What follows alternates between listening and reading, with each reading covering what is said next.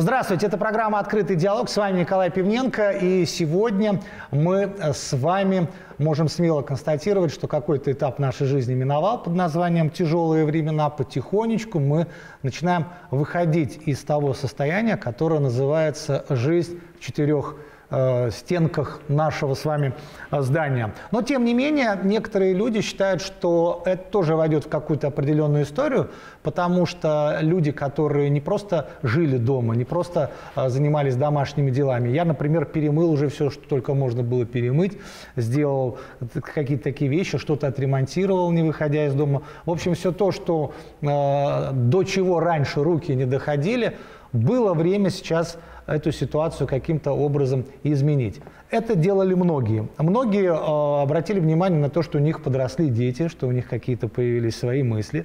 Кто-то обратил внимание на своих ближних, кто-то, наконец, э, подарил больше тепла и ласки своим родным и близким. Но, конечно же, были и трудности, мы тоже о них знаем. Но сегодня мы поговорим о том, как люди занимались творчеством во время вот этого вот сложного э, режима, в котором мы все с вами состояли. В общем-то, в какой-то степени он и сейчас продолжается. Я приветствую в нашей студии а, профессиональных фотографов, семейные, а, а, семейных профессиональных фотографов Дмитрий Мурашов и Алина Посторонко. Здравствуйте. Здравствуйте. Жители городского округа Люберцы, правильно я да. понимаю? Да. Вы давно здесь? Вы отсель или Нет, мы не понаехали? Отсель. Да.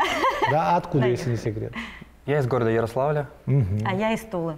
Ага, то есть вы так как-то посередине, Познакомились в театральном институте в Ярославле. Она а, в знаменитом Ярославском да. театральном институте, который э, Волков там у нас самый главный да, да, деятель. Волковский театр, да. да. Вот, и там есть э, театральный институт. Угу. Мы учились на кафедре театра кукол. Так. Кукольники, да. Ага. Вот. Учились на одном курсе, закончили театральный институт, приехали э, работать в Московский театр теней, ага. который находится на станции метро Первомайская. Вот. Два года. Это вот эти все. Да, да, да. Ну, не совсем. Ну, я самое простое показал. Театр, театр теней, он разнообразный. Там, может быть, это китайские куклы, испанские тени.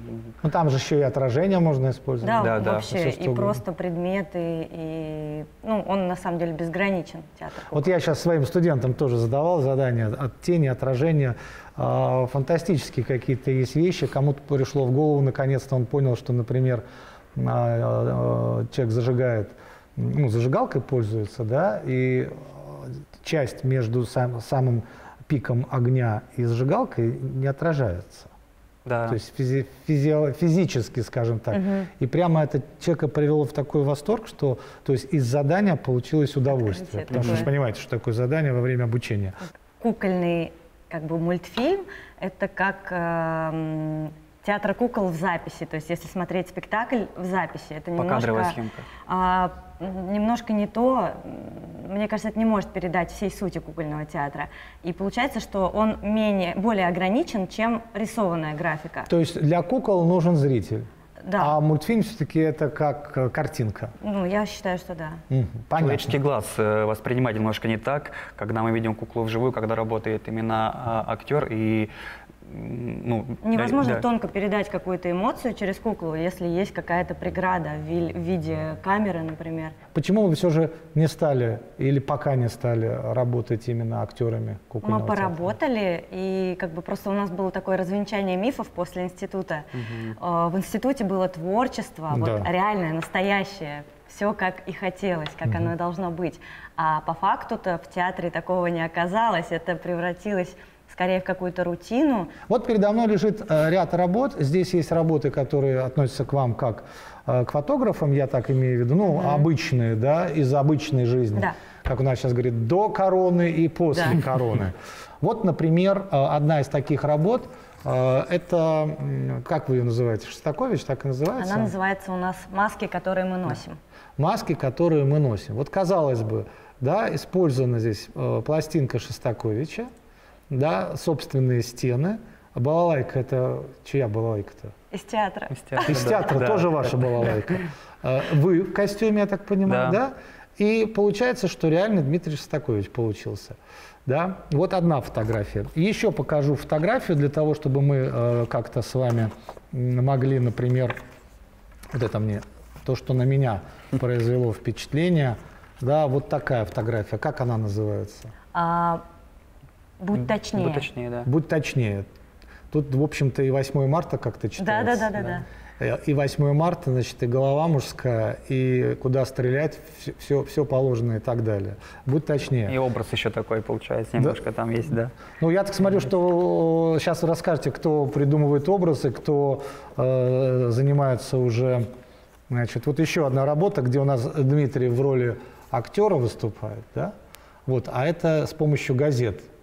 Угу. Видимо, это навеяно моментом э, протирания ок, а окошек, когда сейчас все моют окна активно. Расскажите, как это называется фотография? Это называется у нас э, пожиратели новостей пожирательного. Да. Ну да. сейчас это очень Дело актуально. в том, что это было снято вот практически в самом начале э, изоляции уже официальной. Угу. И на тот момент люди, и мы в том числе, и все наши друзья постоянно мониторили какие-то новости, обменивались всякими, в том числе лже-новостями. И это все вот так крутилось в голове. Все э, ели эти новости реально, все, что кладут изо всех источников. То и едим. Вот, да. Но, тем не менее, помимо таких работ, э, ну, тут, можно сказать, присутствует у нас практически классический портрет Шостакович. Угу. Да, что-то у нас такое э, немножко Э, я бы даже вот это отнес бы к, э, к, к крику, как ни парадоксально, потому что круги вот эти uh-huh. вот uh-huh. сферические, да, как у нас, кто у нас к крик относится, к какому э, жанру. Ну, а это уже такой прям фильетон-памфлет, вот это вот, да. я бы так назвал. Хорошо, э, вот у нас еще есть две э, э, картины, которые я сейчас покажу. Видите, я уже картины даже говорю, фото, фото, да, это уже женская версия, когда Алина уже изображает здесь героиню. Что это такое? Что это за, за произведение? Это у нас называется «Жертва синоптиков». Просто мы как-то вышли в магазин, попали под дождь, и вот mm-hmm. пришла в голову такая идея, что, наверное, когда человек промокает сильно, он mm-hmm. будет как-то отогреваться дома, и вот можно это как-то специфически и немного иносказательно показать. Вот здесь уже, да. я так понимаю, финал изоляции, фотография. Нет, у нас есть финальная фотография, но мы еще не сделали, но она в голове у нас есть. А, а это уже когда человек сходит с ума и использовали кошачьи усы у наших котов, на зеркало приклеили. И подушек. перед подушек, да. И Подожди, как вы, как вы приклеили? Просто к зеркалу кошачьи усы, на... мы собираем ну, мы их не вырывали. А, не, мы да, не, не пугайтесь, не вырывали. Они выпадают, а мы собираем. Сейчас вы расскажете, как вы это делаете, но это такой первый финал, да? Да, знаете, как в театре. Первый да, финал, да, потом да. второй, потом еще будет третий финал. Вот. Ну и такая вот фотография, э, использование как, э, это балкон или что это? Лоджия, лоджия. Лоджия, да. да? Такая повседневная жизнь. Да. То есть мечты, мечты, мечты. Гуляем на балконе. Причем на балконе там светло и ясно, там хорошо, там жизнь, там улица, а в комнате вроде как все цветно, хорошо, но не так радостно, как да. хотелось бы. Как пришла такая идея? А, когда вы начали этим заниматься? Через неделю, через две? Когда щелк, щелкнуло что-то? Почему решили этим заниматься? Вам ну, же за это деньги-то платить никто не будет. Конечно, да. А, вообще, с самого начала изоляции а, мы стали наблюдать, опять же, что люди стали что-то снимать, что-то делать. Mm-hmm. Кто-то снимал из за изоляцию, ну, из за изоляции чуть позже появилась. Наш один а, коллега, фотограф, он, допустим, начал снимать каждый день пустые улицы и искать в этом какой-то сюжет mm-hmm. в пустоте именно. И вот он снимает, получается, как бы историю этого всего. И мы решили, почему бы не показать историю человека, что у него внутри происходит, потому что вот на этих карточках это по сути на них не мы, а на них э, человек в целом и его там страхи, эмоции, его переживания насчет вот этой всей ситуации. Атмосферность такая, да, да, да, да. То есть кто-то показывает историю снаружи, а мы вот начали пытаться показывать историю внутри человека. Сразу возникает вопрос, зачем? Ну вот просто для того, чтобы Инстаграм поддерживать? Нет, вот честно верите, нет, потому что мы жили в таком ритме, что mm-hmm. мы постоянно что-то снимали. Mm-hmm. И мы очень любим это дело. И когда тебе резко говорят, все, Стоп. ты в клетке, да, да. Mm-hmm. То есть, грубо говоря, если вы, не приди Господи, в клетку, кстати, вы и там нашли бы что-то сфотографировать. Да. И у нас было одно условие. Мы снимали только дома, не выходя на улицу, не выходя... Хотя, естественно, там, да. в магазин ходили. Ну, понятно, да. да, да. То есть, вот, да. нужно было Два раза, да. как минимум, имели право на это. Да. Можно ли сказать, что таким образом, благодаря вот этой ситуации, да, как у нас любят говорить, не было бы счастья, да несчастье mm-hmm. помогло, вы нашли себя в каком-то новом, в новом э, творческом статусе, и когда все закончится, мы надеемся, когда пока непонятно, но закончится все, что все равно вы будете ставить себе такие задачи, э, да, новую вот эту атмосферность показывать. Почему? Потому что человек дома-то часто бывает, да. Угу. Другое дело, что после всего, что произошло, наверное, ему заход... не захочется часто дома бывать, но тем не менее. Можно ли сказать, что новая творческая единица у вас появилась на вашем горизонте? Я убеждена, что да. Ну, как, как и на всех, наверное, это наложит какой-то отпечаток. Угу. Надеюсь, что на большинстве людей хороший как ни крути. А, но на нас точно наложит, потому что, как минимум, мне понравилось мыслить вот проектно.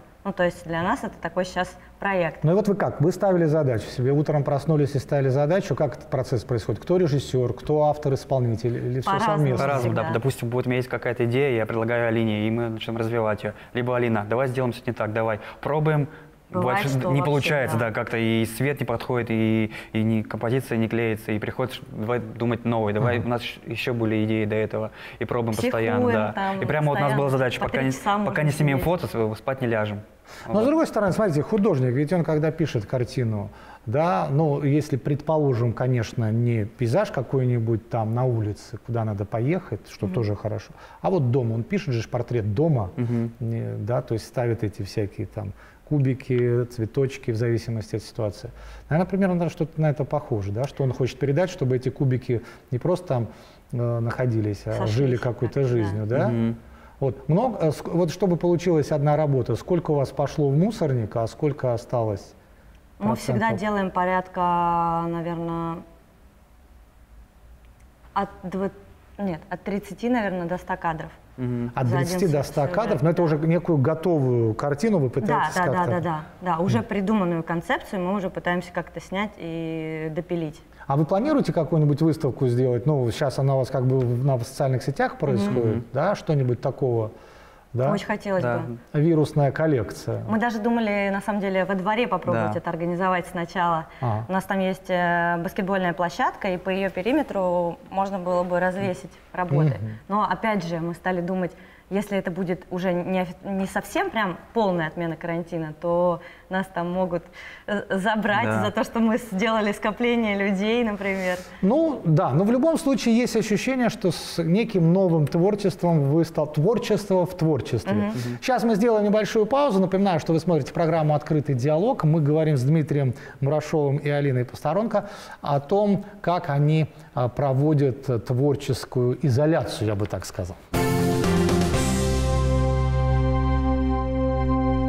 Это программа «Открытый диалог». С вами Николай Пивненко. Мы продолжаем. Сегодня у нас в гостях профессиональные фотографы, семья профессиональных фотографов в составе Дмитрия Мурашова и Алины Посторонко. Здравствуйте еще раз. Здравствуйте. А, скажите, пожалуйста, а, вот заканчивая первую нашу часть, чтобы точку поставить, а, не будет потом ощущения, когда это закончится, что когда вам поставила жизнь такие условия, что в ней тоже было как-то какой-то свой интерес?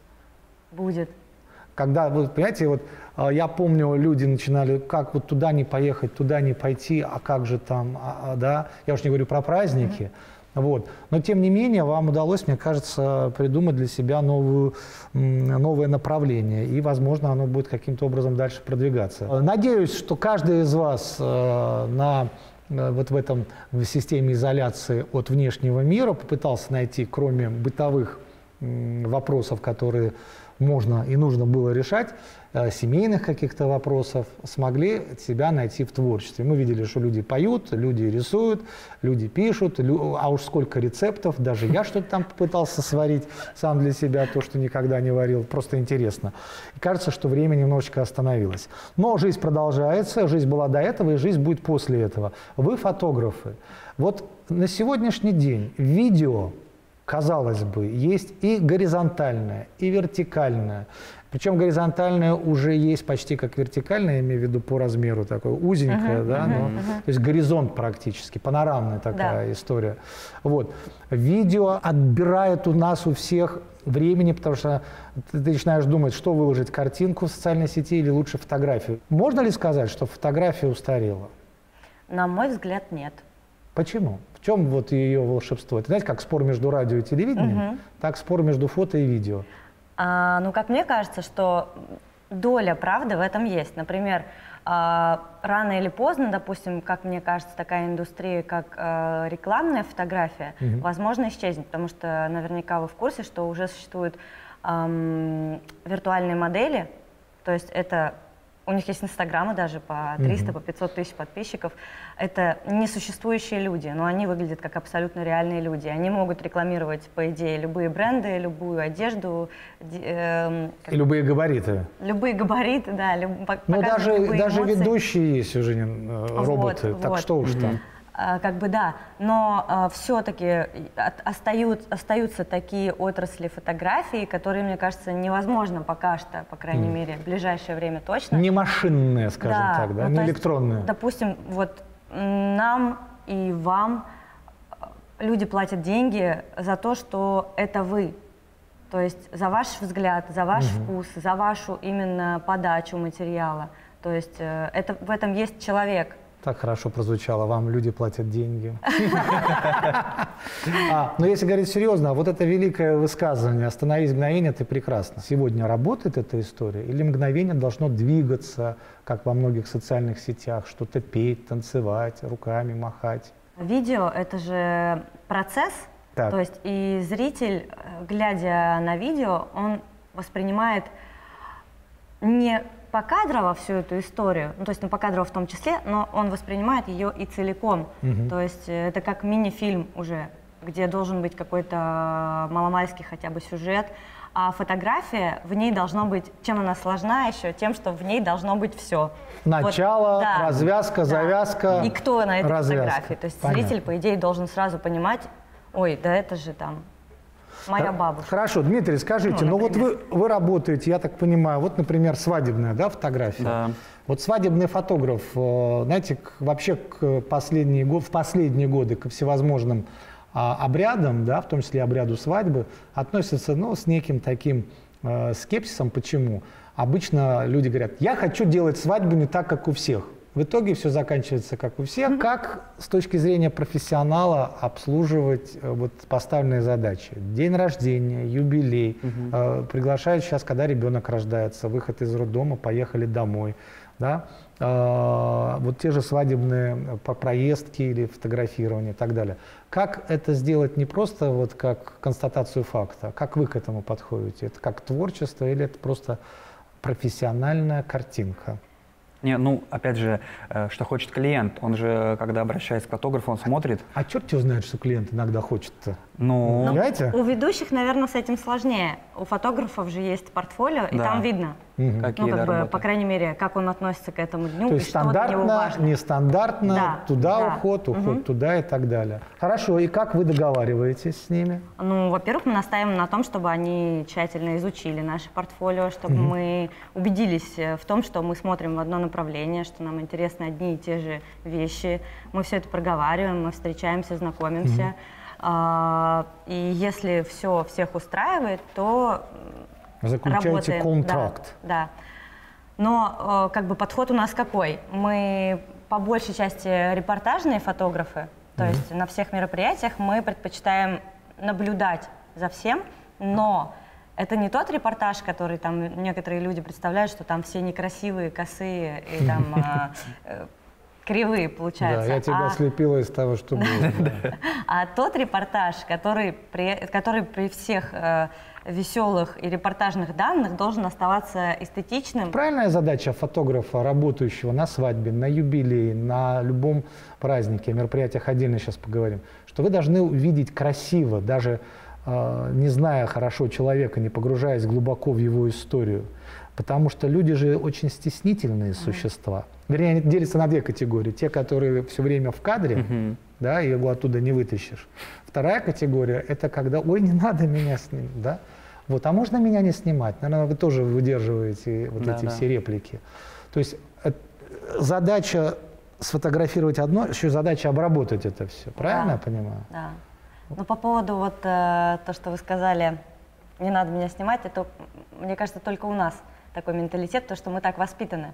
А, нас все время же в детстве как ставили? Давай, стой, улыбайся, угу. там, ручки по швам. Да. да, до сих пор там даже иногда встречаю ситуацию, что там, допустим, ребенок на каком-то мероприятии, он там бесится, естественно, ему по, по барабану, что ты его снимаешь, ему весело. Да. А мама ему подходит и говорит там, типа, стой, не дыши, да, остановись, да. замри. Да. А вот, ну, зачем? Я помню прекрасно, что э, до того, как я начал работать на телевидении, вот действительно так вот спокойно разговариваешь, все, никому в голову не приходило, что вот это надо фотографировать. Mm-hmm. Да? Обязательно же надо... И вот э, э, люди, наоборот, начинали... Да, да, да. И вот эти фотографии на паспорт наши советские, вот, как будто бы в тюрьму тебя сейчас отправят, да? И, а вот и ребенок тоже весь скукожится, весь вот такой, да? А э, вот мы говорили об этом в перерыве, что, например, чтобы сделать фотокастинг в кино, Наоборот, актер должен раскрепоститься полностью, и он Быть должен не останавливаться, двигаться головой, крутить на 360 градусов. А уже задача фотографа поймать, как он, его атмосферность, uh-huh. его все эмоциональные составляющие. Вообще, э, задача эмоций в фотографическом бизнесе, вот это действительно важно. Вот, например, такая фотография. Что такое эмоциональность фотографии?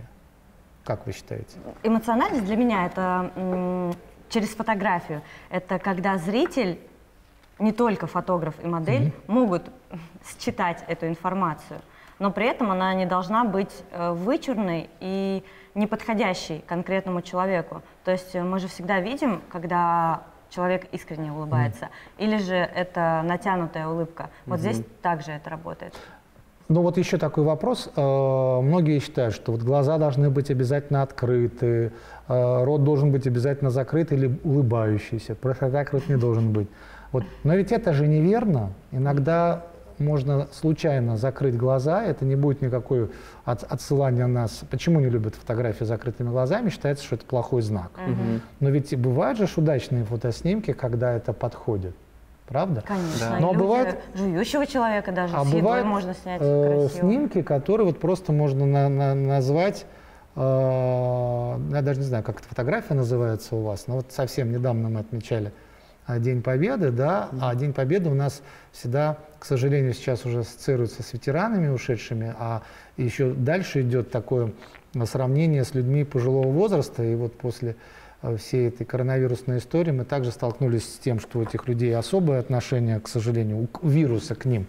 Вот в этой фотографии, что вы здесь, вы уже передаете здесь какое-то другое состояние? Тут а, моя фотография, да. я просто увидел, что дедушка... Это свадьба. Да, свадьба, да. Дедушка угу. сидел, э, курил, угу, э, да, потому что там происходит действие, он, получается, ему передвигаться тяжело, он, получается, вышел из ресторана У нас и просто, сел. да, такое разделение, что, да. допустим, я снимаю какую-то основную там тусовку, mm. вот то, что там люди стоят, mm. веселятся, обнимаются, а у Димы есть задача, допустим, пойти и найти интересные детали которые Понятно. там никто не видел. И вот он ну и получилось, что никогда не скажешь, что это на свадьбе сфотографировано, во-первых. И такое ощущение, что это вот прям, ну, из жизни такой, да, фрагмент вот из какого-то магазина. Угу. Как правильно сегодня себя фотографировать своих родных и близких, если, конечно, не пользоваться услугами профессионала? Что надо видеть в человеке и в окружающей среде?